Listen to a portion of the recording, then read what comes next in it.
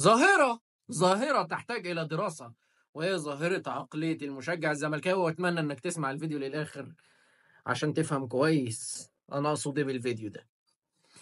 أول حاجة في دراستنا عن عقلية المشجع الزملكاوي هو إن آه الأهلي لازم يرجع الساعات. أوكي؟ لكن شيكابالا لما خد ال ال- لا ما عادي مش ما هو رجع مين اللي قال إن هو رجع واحد كان معدي في الشارع شاف هو بيرجع المقدم بتاع الفلوس وقال لنا بس. طيب في جانب آخر من الكوكب. ليه أبو تريكة بتاع اللقطة؟ أبو تريكة اللي بتاع اللقطة يعني مش شيكابالا لا أبو تريكة بتاع اللقطة ليه؟ ها؟ ما عملش زي ما عمل مع إريكسن عمل مع أحمد رفعت. ما هنا بقى نحتاج نقف نفكر. طب دلوقتي هل بين سبورت بقت بتنقل الدوري المصري؟ الإجابة no طب هل كانوا بي... يعني مثلا ساعتها كان هو قاعد في استوديو؟ الإجابة no هل هو كان بينقل المباراة؟ الإجابة no طب ليه ينسحب مش فاهم ما هو ما كانش موجود ساعتها يعني ما كانش قاعد في استوديو أصلا ساعتها.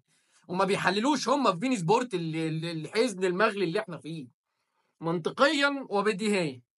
أوكي؟ نيجي لجزئية أخرى.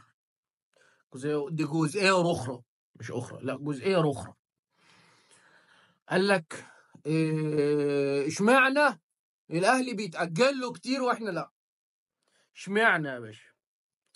أيوه حبيبي ما عشان الأهلي بيلعب في دوري أبطال أفريقيا بيلعب في بطولات إيه الأهلي ما بيلعبش فيها؟ الأهلي بيلعب في كل البطولات تقريبا. أنت بتلعب في إيه؟ الدوري الكونفدراليه وبارك الله فيما رزق النعمة والستر والصحة. بس شكرا الموضوع انتهى.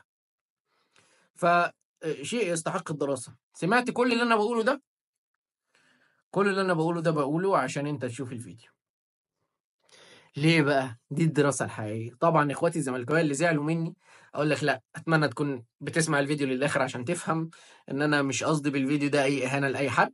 أنا قصدي بالفيديو ده إن أنا أوصل لك معلومة إن المشاهدات والفيوز لازم تكون استفزاز للمنافس أو استفزاز للخصم أو إنك تكون طالع تستفز الناس أو إنك تكون إنسان مستفز. المشاهدات في مجال كرة القدم يا إما إن جمهور فريق بيهاجمك والجمهور التاني بيسقف لك يا إما الجمهورين بيهاجموك يا إما يا اما مش هتشاف أصلا. بس. فأنا عملت الفيديو ده عشان أثبت لك. إيه أنت هتشوفني دلوقتي لأن عنوان الفيديو والكلام اللي أنا قلته في أول الفيديو استفزازي فأنا استفزيتك. فبالتالي الأغلب هيشوف عشان الأغلب يهاجم عشان الناس تيجي تهاجم. فلما الناس تيجي تهاجم فإحنا نتشاف. فهمت حاجة؟ طبعا كل الحب لإخواتي الزملكاوية أتمنى تكونوا فهمتوا وجهة النظر وفهمتوا أنا أقصد إيه بالفيديو ده. السلام عليكم.